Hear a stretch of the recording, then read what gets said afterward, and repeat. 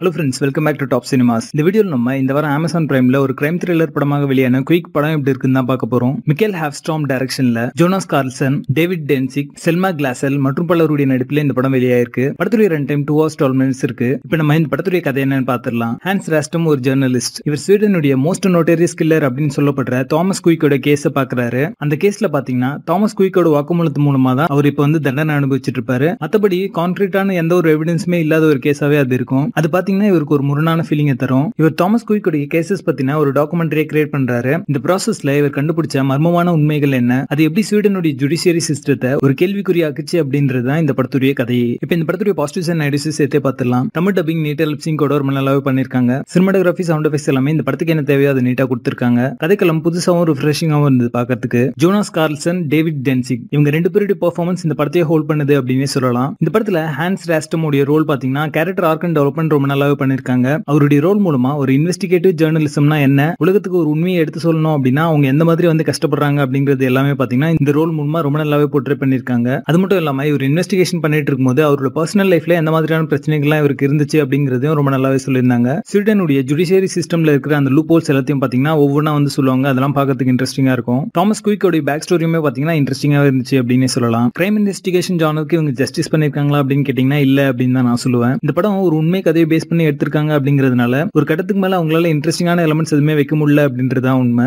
இருந்தாலுமே சட்டிலான நான் linear story டெல்லிங்குமே பாத்தீங்கன்னா இந்த படத்துக்கான ஒரு மைனஸாவே இருக்கு. பெருசா வந்து இன்ட்ரெஸ்டிங்கான எலமெண்ட்ஸ் எதுவுமே இல்லாம நிறைய டிராகிங்கான சீக்வன்ஸ் இருந்துட்டே இருக்கும். அது இந்த படத்துக்கான ஒரு பெரிய மைனஸாவே அமைஞ்சிருக்கு. படத்துடைய ஆரம்பத்திலேயே இன்ட்ரெஸ்டிங்கான எலமெண்ட் எல்லாமே வந்து ரிவீல் பண்றாங்க அதுக்கப்புறம் இருக்கிறது எல்லாமே பாத்தீங்கன்னா அவருக்கு ஜஸ்டிஸ் கிடைக்கணும் அப்படிங்கிறதுக்காக தான் வந்து மூவ் ஆயிட்டு இருக்கும். அந்த சீக்வன்ஸ் எல்லாமே பாத்தீங்கன்னா பெருசா இன்ட்ரெஸ்டிங்கா இல்ல. படத்துடைய பேசிங் ஆவரேஜா இருக்கும். சில டிராமேட்டிக் போர்ஷன் வந்து லேக் ஆக தான் செய்யுது. மொத்தத்துல இந்த படம் ஒரு one time watchable crime thriller படமாக வந்து வந்திருக்கு. படத்துல அடல் கண்டென்ட் இருக்கிறதுனால இந்த படத்தை நீங்க ஃபேமிலியோட பார்க்காதீங்க. குயிக் படத்துக்கு எங்களோட rating six out of ten